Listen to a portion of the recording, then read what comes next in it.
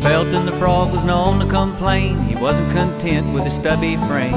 Hated to hop, never satisfied, but he always wanted to fly.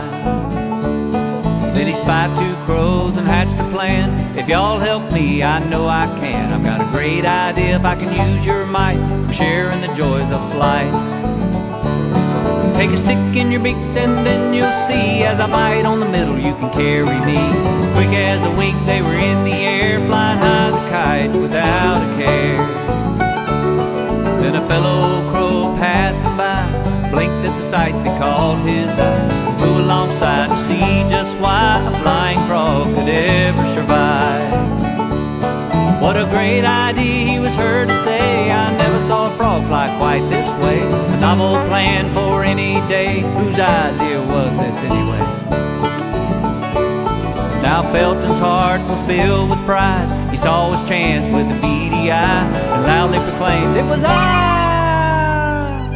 Promptly fell like a rock and died. The moral here is plain to see. The credit may go to seeking the glory we cease to be. Two crows and a frog, what a sight to see. Like the Wright brothers going down in history.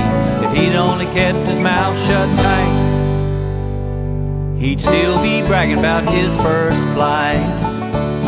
The Bible says that pride goeth before destruction And a haughty spirit before a fall